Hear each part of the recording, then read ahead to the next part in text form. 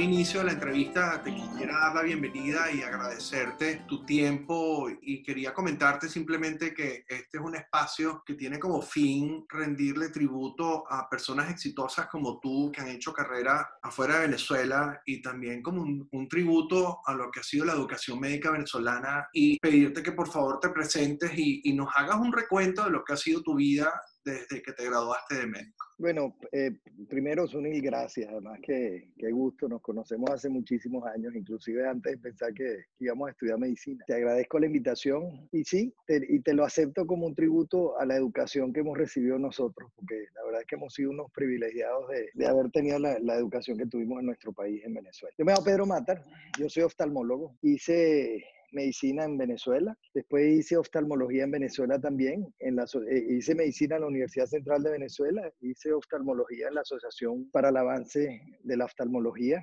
en Caracas. Después estuve afuera, hice el fellow en Colorado, en Denver, en el Hospital de Niños. Y eh, estuve trabajando toda mi vida una vez que regresé de Colorado en Venezuela. Y hace, en el 2015, a finales del 2015, salí Después salió la familia unos meses después. Estuve en Arabia Saudita. Eh, recibí la llamada de un amigo, de Enrique Suárez, que me llamó del King Haller Eye Specialist Hospital. Me comentó de allá que en Cake están buscando oftalmólogos pediatras y, y, apliqué y afortunadamente tuve la oportunidad de estar allá. Allá estuve casi tres años y de ahí me, me mudé a Qatar, que es donde estoy ahorita. Y el King Khaled era en Riyadh, en Arabia Saudita. En Riyadh, en Arabia Saudita, sí. Ese es un hospital extraordinario, eso fue una experiencia maravillosa. Hoy en día estoy trabajando aquí en Qatar, en, Doha, en un hospital que se llama Sidra Medicine. Es un hospital pediátrico y para mujeres, los cuales tienen todas las especialidades pediátricas, entre ellas oftalmología pediátrica, y tengo la suerte de trabajar ahí como senior attending consultant. ¿Y cuántos años pasaste tú en Venezuela trabajando como oftalmólogo? Wow, mira, yo terminé medicina en el 93, Después hice los años de oftalmología. Después estuve en los Estados Unidos, regresé para el año 99 y desde el año 99 estoy como oftalmólogo pediatra ya. Estuve trabajando en el Centro Médico Docente de la Trinidad y en la, Unidad Oftalmológica de Caracas, que es donde está la BAO, la Asociación Venezolana para el Avance en la Oftalmología, que fue donde hice oftalmología. Después dejé la Trinidad, me quedé en, en la Unidad Oftalmológica de Caracas y tuve la oportunidad de trabajar en la Maternidad Concepción Palacio y en la Maternidad Santa llevando el proyecto de prevención de ceguera por retinopatía al prematuro. Una, una, experiencia maravillosa y trabajamos a nivel nacional en eso. Eso fue hasta el año 2015. Y, y, cuéntanos un poco de ese salto, porque estabas en Caracas en tu área de confort y haciendo tu trabajo y, y, y de repente vas al Medio Oriente, al Golfo Pérsico, a una cultura totalmente diferente. Sí. Aquí, aquí es divertidísimo porque aquí lo llaman el Golfo Arábico. entonces depende, entonces depende del lado en que este lo llaman el golfo, el golfo pérsico o el golfo arábico. Inclusive Google Maps lo hace de esta manera. Pero sí fue una experiencia bárbara, fue un cambio muy interesante. Desde el punto de vista profesional, yo creo que el King Khaled Eye Specialist Hospital en Riyadh es sin, sin duda alguna es el hospital de ojos quizás más importante del mundo. Es un hospital inmenso, tiene 14 quirófanos que están funcionando todos los días solo para ojos. Están todas las diferentes subespecialidades en oftalmología. Y oftalmología pediátrica normalmente es la subespecialidad que menos tiene cirugía si la comparas con el especialista de retina o la comparas con el, el especialista en cirugía plástica ocular o el, que, el, o el que hace segmento anterior o refractiva. Pero el volumen que nosotros teníamos era, era tan interesante allá que el volumen quirúrgico que teníamos los oftalmólogos pediatras era exactamente igual al que tenía la gente retina, al que tenían las otras subespecialidades y casos bien complejos. Tuve la oportunidad de compartir con diferentes culturas. Yo creo que eso, eso a uno le abre el mundo, ¿sabes? Médicos de distintas partes del mundo con una formación impecable, gente que, que, que a uno realmente le abrió las puertas claro que cuando uno sale fuera de su país, uno tiene que demostrar quién es uno, pues, y eso es, eso es algo que es lógico. Y realmente esa oportunidad me la dieron allá de una manera de puertas abiertas si lo quieres poner así. Además que es un hospital que tiene algo muy singular, es un hospital solo para sauditas y hay una gran población en necesidad dentro de Arabia Saudita que el, gobierno le ofrece este tipo de facilidades y el hospital entonces está lleno de un paciente que agradece todo lo que tú hagas por él. Mm. Y es, es un paciente muy, muy interesante. Es una cultura totalmente distinta es el Islam, yo no conocía que es el Islam. Yo soy, yo soy católico, como tú sabes. Gente maravillosa. Yo no, eh, además que como es un mundo tan cerrado para los que viven afuera, se crean una cantidad de mitos y una cantidad de cosas, ¿no? Que uno llega un poco asustado, pero, pero realmente fue una experiencia extraordinaria. Mi esposa eh, después me acompañó, Mariana, y después vino mi hija menor, Manuela. Eh, allá estuvimos varios años y se dio la oportunidad de venirnos acá a Qatar porque el que era mi jefe de servicio terminó viniendo, el, viniendo para acá. Y él me llamó y me dijo, ¿quieres venir para acá? Aquí la vida, digamos, es un poquito, para el que está acostumbrado a, a la vida en, en, las Américas, es un poco más parecida a la que nosotros tenemos. Y para mi esposa era mucho más libertad. Entonces tomamos la decisión de venirnos, eh, dejamos, dejé, a grandes amigos, gente que yo admiro mucho allá. Y aquí es un hospital que tiene unas características distintas, es un hospital pediátrico como tal, y vuelvo, vuelvo a retomar lo que era la retinopatía del prematuro, que es algo que me ha apasionado y es lo que estoy llevando aquí aparte de la consulta pediátrica y la de oftalmología pediátrica. Entonces, es realmente ha sido una experiencia bien interesante. Y la barrera idiomática, por ejemplo, en, en Arabia Saudita y ahora en Qatar, ¿cómo ha sido, cómo ha sido ese Mira, eh, conflicto y, y, también quizás con, con, las mamás, ¿no? De los, de los pacientes. Sí, sí, aquí hay varias cosas interesantes, ¿no? Primero, uno no habla con las mamás. el, que, el, que, el que trabaja en pediatría o con niños está acostumbrado a dirigirse directamente a la madre, que es la que conoce todo lo que está sucediendo. En estas culturas es un poco distinto. En estas culturas, por respeto, que uno lo tiene que tener porque uno vive acá, uno se dirige hacia el padre. y evidentemente uno le hace todas las preguntas al padre, que las responde la madre y el padre te las responde a ti. Siempre acompañado de un intérprete. Toda la interacción ha sido en inglés desde que salí de, Venezuela. Sin embargo, uno va tomando una que otras palabras. Hay otra cosa bien interesante desde el punto de vista de cómo la gente, la gente se viste. Evidentemente hay gente que se cubre un poco más que otra. Entonces la expresión facial es algo que tú muchas veces no sabes. Tú no sabes si esa persona está molesta con lo que tú le estás diciendo entonces es un poco lo que nos está pasando ahorita en esta era del COVID-19, que tú sales y ves a toda la gente con mascarilla y tú empiezas a darte cuenta que fue una ventaja aprender a leer los ojos.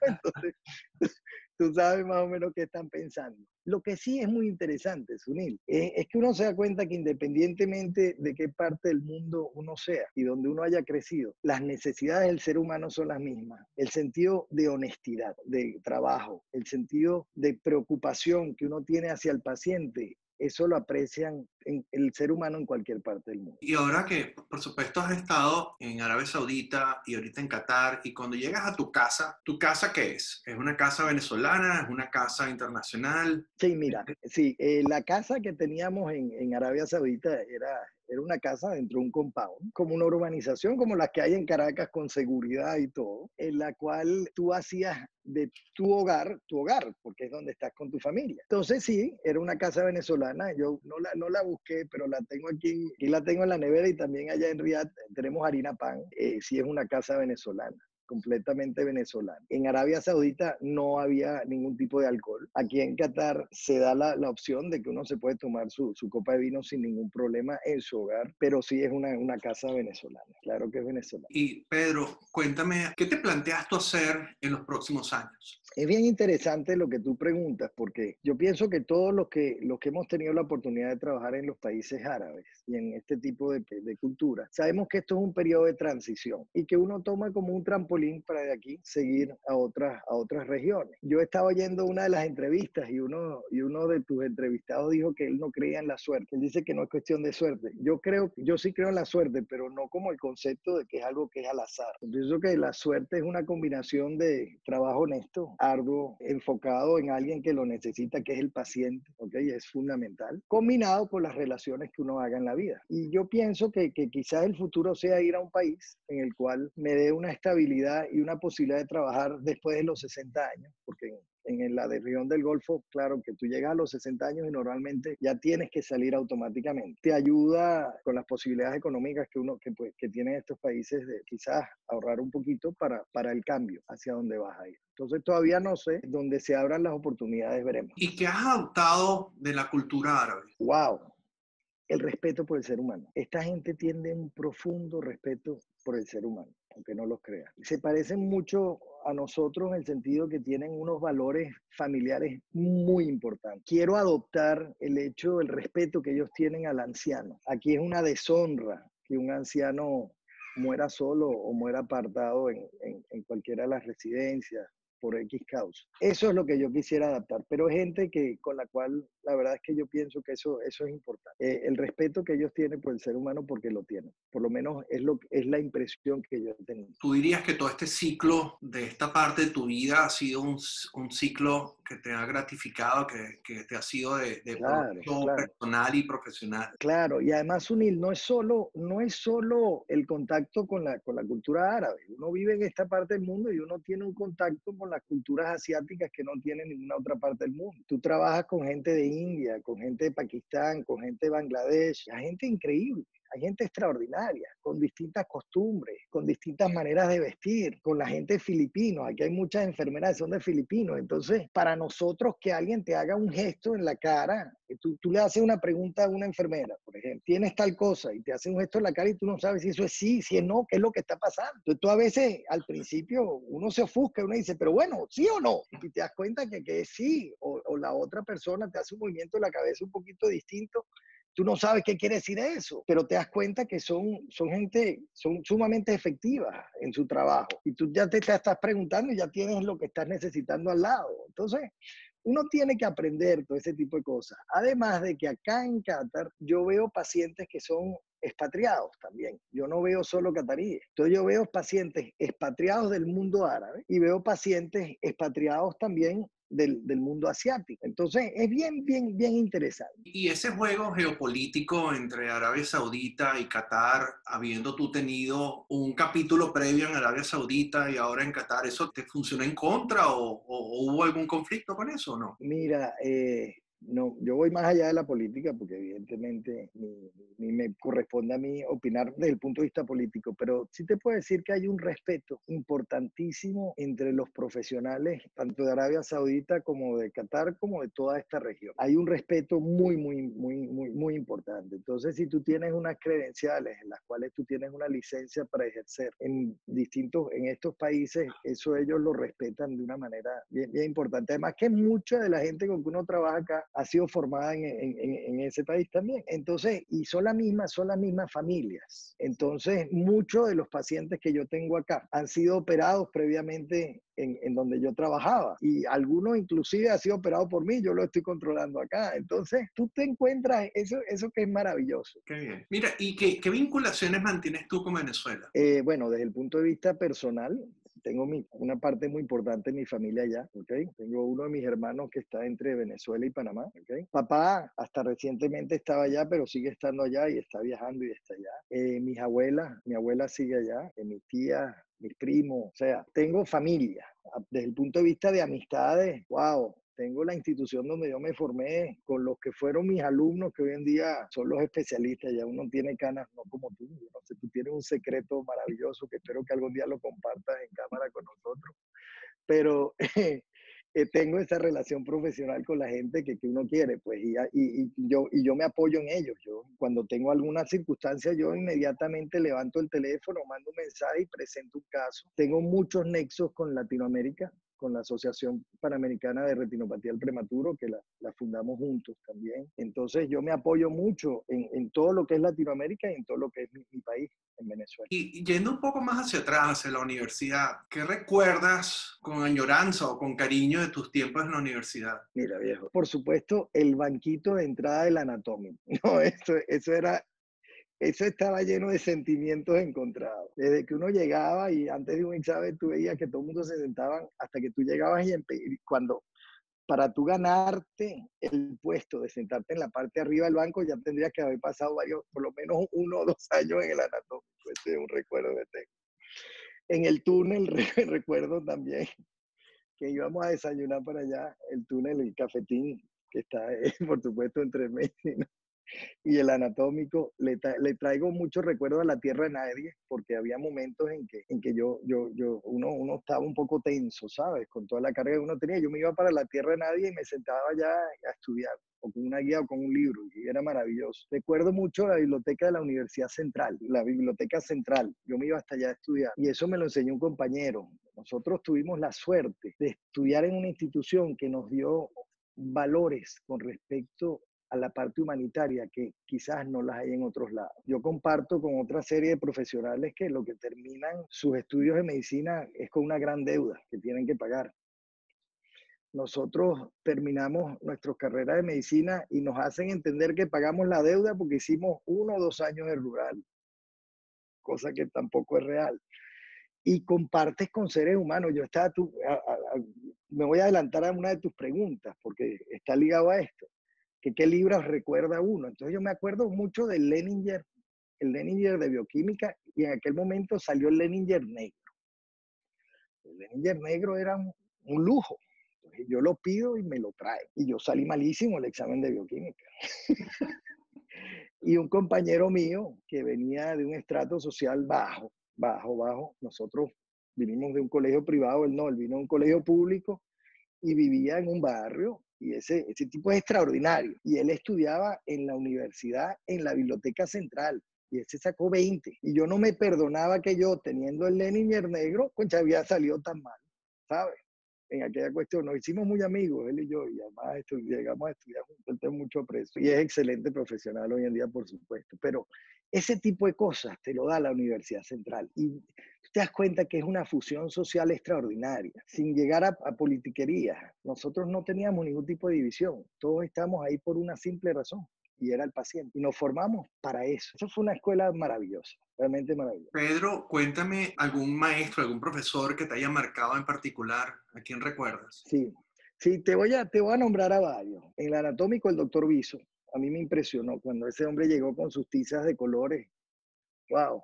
y, hacía esos dibujos anatómicos que eran mucho más, eran, eran e, extraordinarios. Además, un tipo muy amable y muy, muy agradable. En la parte clínica, Tomás Landaeta, a mí me gustaban aquellos profesores que te sacaban, te sacaban de lo común, te sacaban, te, te hacían pensar en algo más. Toma, el doctor Tomás Landaeta John Hopkins, eh, eh, eh, el doctor Hopkins también lo recuerdo con mucho, con mucho cariño. No es John, el doctor Hopkins lo recuerdo con mucho cariño. Y en la parte de mi formación, por supuesto, como oftalmólogo, recuerdo al doctor Guillermo Pereira, que fue por la persona que yo hice oftalmología, fue mi maestro, el doctor Nayib Salomón también. Y recuerdo con mucho cariño al doctor Musi, al doctor que sigo manteniendo contactos con él y es un hombre extraordinario. Familiarmente, eh, tengo un tío mío que es Agustín Subillaga, pediatra, que fue el hombre que yo creo, él y mi abuelo, Rafael Ceneri, que fue cardiólogo, fueron los, que dos, los las dos seres humanos que más influenciaron para mí de poder, de hacer, de hacer medicina. Eso te iba a preguntar, ¿de dónde había salido tu vocación? Sí, de, de bueno, primero mi abuelo, mi abuelo Neri, Rafael José, él fue cardiólogo, fue rector de la central, y yo desde muy pequeño, él tenía, una tenía su consultorio en la Sanatrix, en Caracas, y yo iba de pequeño para allá, yo recuerdo que era un consultorio inmenso y tenía hasta hasta una máquina de rayos X dentro del consultorio. Entonces, eso a mí me llamaba mucho la atención. Entonces yo iba y me pasaba ahí varias tardes. Eran, eh, tenían distintas sesiones y tenía el sitio donde estaba su escritorio, que era la biblioteca, y yo me sentaba. Agustín Subillaga fue un hombre que, que, que me marcó muchísimo el doctor Agustín Subillaga es un clínico extraordinario, un ser humano que más allá. Él estaba, él está, él, falleció, está casado con una hermana de papá. Y esos seis meses que uno esperaba entre la parte de que uno terminaba bachillerato y entraba en medicina, yo los pasé con él.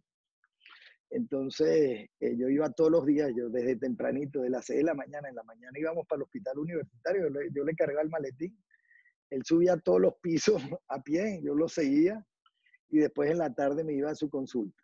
¿ok?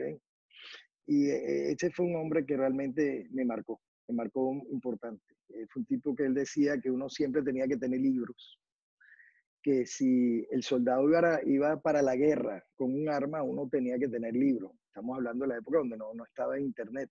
Ese hombre examinaba al paciente, la parte de, semiología de ese hombre era una cosa extraordinaria una cantidad de valores humanos extraordinarios. Entonces, sí, esos fueron las dos personas que me influenciaron. Mi abuelo Rafael Ocener y mi tío Agustín Zubillaga. Y Pedro, cuando te comparas con médicos de otras nacionalidades, que, que por supuesto en, tu, en tus medios de trabajo eh, es muy internacional, ¿cómo te sientes tú como médico venezolano? A mí me parece que, que uno tiene una formación muy integral, muy, muy integral. Uno ve a un paciente como el todo, y pienso que, que, estamos muy, muy bien formados. Y tú oyes los comentarios y eso es muy agradable porque te consigues otros venezolanos y gente de otros lados y dicen, coño, yo no sabía que los médicos venezolanos, entonces te hacen comentarios. Para mí una de las cosas que me ayudó eh, cuando llegué a Riyadh es que ya había médicos venezolanos que habían estado allá, que, que habían dejado un nombre y habían dejado una marca extraordinaria. El doctor Enrique Suárez, está José Manuel Vargas que está allá, estaba Ashley Berens, que es oftalmólogo, estaba Fernando Arevalo. Entonces, para uno, ese camino se le hizo menos difícil gracias a la huella extraordinaria que ellos habían dejado. Pedro, ya, ya entrando en tu, en tu esfera más personal, tu gran parte de tu tiempo se lo dedicas a la medicina, pero ¿qué hobbies tienes? Bueno, los hobbies míos cambiaron por completo. Mi hobby en Venezuela era hacer bicicleta montañera, que desafortunadamente la dejé porque aquí no hay montañas, ¿no? Y el clima no ayuda. Y el vino, a mí me encantaba el vino. Yo, yo me ponía, yo leía de vino aquí. En estas, en las opciones que tenemos aquí tampoco son muy grandes. Entonces, eh, han cambiado un poco, un poco ir para el desierto, un poco el, compartir más en familia. Uno, uno cambia, cocino mucho eh, aquí en la casa, eh, cambia, cambia, realmente ha cambiado mucho. Y he viajado, he viajado, Dios me ha dado la oportunidad de viajar, sobre todo cuando uno está en esta parte del mundo. Entonces, he viajado y he conocido países extraordinarios y culturas maravillosas. Qué bien. ¿y estás leyendo algo en este momento? Sí, estoy leyendo, estoy, bueno, estoy peleando para terminarlo, porque yo, yo, yo, yo tengo un problema, yo creo, de déficit de atención importantísimo, ¿no? Entonces, para mí leerme una novela es muy difícil. Yo por eso, a mí me encantan los ensayos y la poesía. Entonces, ahorita me estoy leyendo, por aquí lo traje, me, me, estoy leyendo porque un amigo mío que se llama Jimmy Mattison, que conversamos mucho, el escritor, está en España, me lo recomendó. El libro de, de, de Yuval Noah Harari, El Sapiens. Entonces, estoy leyendo, me estoy luchando. No he llegado al cuarto del libro todavía, pero ahí voy. estoy luchando no porque sea difícil, sino porque yo me, yo me pierdo inmediatamente. Entonces, entonces, por eso, pero la poesía siempre es algo que sigo, sigo leyendo. A mí me gusta leer poesía, me gusta la poesía latinoamericana. Entonces, eh, y leo los cuentos de Cortázar, que me los traigo y los leo y los, releo y ese tipo de cosas. Qué bien. Y cuéntame, ¿música que estás escuchando? Música, a mí, a mí, yo oigo de todo, y yo, yo oigo de todo y depende de la hora del día y del mood, del humor, ¿no? Normalmente en la mañana a mí me gusta mucho la música venezolana y me gusta la música clásica, más la, la tipo barroca, ¿no? En la mañana eso es lo que escucho. El, eh, ahorita está mi hija acá con este tema, ya está estudiando afuera y se vino estos días para acá por, por la pandemia que estamos viviendo, entonces eh, oigo mucho reggaetón, que a mí me gusta, me gusta la salsa, me gusta la salsa, me gusta la salsa, siempre me gusta la salsa y me gusta la salsa vieja, ¿ok? En las tardes me gusta también el pop de nosotros, de toda la vida, el pop latino, el pop, el pop, y en la noche para dormir oigo un poquito más de música clásica, antes de dormir oigo, me gustan los pianos, el, piano Chopin, me gustan los conciertos de, de Chelo de Bach, eh, entonces depende de la hora y del mood, eh, yo me divierto. Pedro, ¿en algún momento tú has considerado, porque bueno, tú tienes muchos años por delante de vida útil como médico, pero te, te, ha cruzado por la mente uh, la posibilidad de retirarte en algún momento de la medicina? ¿Qué harías? Sí, mira, yo, yo pienso que uno como médico, primero, y si uno tiene una especialidad quirúrgica, tiene que saber que en algún momento tiene que colgar esos guantes, por lo menos los quirúrgicos. Eh, yo sí quiero estar siempre ligado a la parte docente, que me llena mucho, ¿ok? y quiero de alguna manera estar ligado a la parte que a mí no me gusta la palabra beneficencia. Eh, a mí me gusta estar ligado con la gente que tiene necesidad. Y, y, si yo puedo tener la oportunidad de hacerlo, es algo que me, que me, que me va a llenar mucho. porque eso es lo que más me ha llenado toda mi vida. Eso es lo que yo quisiera hacer. Yo pienso que uno puede hacerlo a través de una ONG o a través de cualquier parte del mundo donde uno esté y inmiscuirse un poco en la gente que tiene necesidades y tratar de trabajar en eso que está muy relacionado a, la medicina. Y sobre todo lo que tenga que ver con prevención de ceguera. Y toda la vida me ha apasionado la parte de prevención de ceguera. Y de no haber sido médico, Pedro, que hubiera sido tú? Yo estaba entre arquitectura y medicina. Yo pienso que arquitectura. Lo que pasa es que yo era muy mal dibujante. En aquella época el AutoCAD no existía y las computadoras, quizás, quizás, pero me parece que el arquitecto tiene un compromiso social importante. Yo tengo un hermano que es arquitecto y trabaja en las Naciones Unidas con la gente de los refugiados, con la ACNUR, y el, el, compromiso social de la manera que él lo ejerce es extraordinario. Entonces yo, lo, yo, yo admiro a mis hermanos y a él lo admiro mucho por el tipo de trabajo que hace. Okay. Mira, ¿y, ¿y qué reflexiones tienes tú después de toda esta vida, de todo todo lo que has hecho. Oye, que me falta mucho por aprender, mi pana, y mucho por y mucho por respetar. Uno, sobre todo el cambio de experiencia, no tanto es, no tanto por la edad que uno tenga, sino por el brinco de una cultura, de una cultura a otra. Uno se da cuenta que uno, uno le falta mucho por vivir, uh, y mucho por entender. Y uno se da cuenta que, que la esencia del ser humano es noble, ¿sabes? Es noble y todos tenemos las mismas necesidades. Definitivamente todos las tenemos. Entonces, en ese sentido me falta mucho. Espero, espero de aquí a 30 años poder hablar contigo de este mismo tema y vamos a ver qué, qué nos conversamos. Tú vas a estar igualito y yo voy a estar más arrugado. Espero con un poco de pelo y blanco el que me va a quedar. Y, y, y, Pedro, ¿en algún momento has contemplado la posibilidad de volver a Venezuela? Sí, definitivamente sí. Tú dices profesionalmente. Sí. Me encantaría, me encantaría. Si, si se dan las mismas condiciones de trabajo que nosotros tuvimos en nuestro país, eh, que teníamos todas las facilidades de entregar al paciente lo mejor de nosotros, definitivamente sí. ¿Y qué llevarías de vuelta de este ciclo que, que has tenido? Bueno, aparte, por supuesto, de, de, de, de la tecnología, el orden, yo pienso que, que esta gente es sumamente organizada en muchas cosas. ¿Oíste? Sobre todo estos tipos de hospitales en que uno trabaja que tienen un formato europeo, americano, están bien, bien estructurados en muchas cosas. Yo pienso que un poco de eso lo llevaría, sin quitarle la, la sana locura que tenemos nosotros, el latinoamericanos, en la manera en que ejercemos nuestra profesión.